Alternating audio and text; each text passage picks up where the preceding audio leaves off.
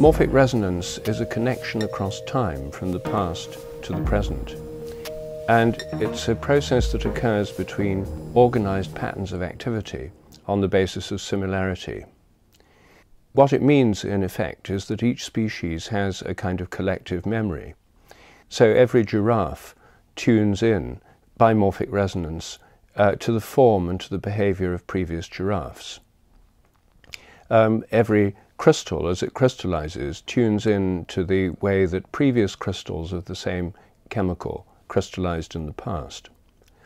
So there's a kind of memory given by morphic resonance in all kinds of things. And in the realm of animal behavior, for example, it leads to quite striking predictions. If rats learn a new trick here in London, then rats all around the world should be able to learn the same trick quicker, just because the rats have learned it here. The more that learn it, the easier it should get everywhere else. And there's already evidence that this actually happens from studies of rats in laboratories. Um, when lots of rats have learned something, other rats all around the world find it easier to learn.